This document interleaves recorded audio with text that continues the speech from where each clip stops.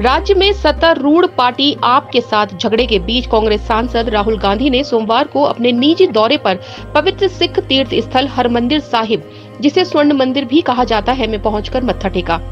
कांग्रेस नेताओं ने कहा कि ये निजी दौरा है, राजनीतिक नहीं। गांधी जयंती के अवसर पर अवकाश के कारण स्वर्ण मंदिर में सुबह से ही सैकड़ों श्रद्धालु प्रार्थना करने के लिए कतार में खड़े हैं। नीले रंग का पटका पहनकर राहुल गांधी गोल्डन टेंपल पहुँचे और दर्शन करने के बाद उन्होंने लंगर हॉल में झूठे बर्तन धोने की सेवा भी की। इससे पहले जब वो भारत जोड़ो यात्रा के वक्त यहाँ आए थे तो उन्होंने पगड़ी पहनी थी। उनका ये दौरा निजी रखा गया है। इस दौरान कोई भी राजनीतिक कार्यक्रम नहीं रखा गया था, जिसे देखते हुए पंजाब के कांग्रेसी नेता उनके स्वागत आदि के लिए नहीं पहुँचे।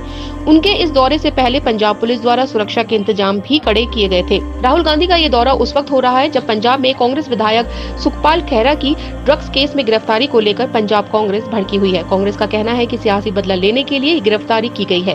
खैरा को करीब आठ साल पुराने ड्रग केस में पकड़ा गया।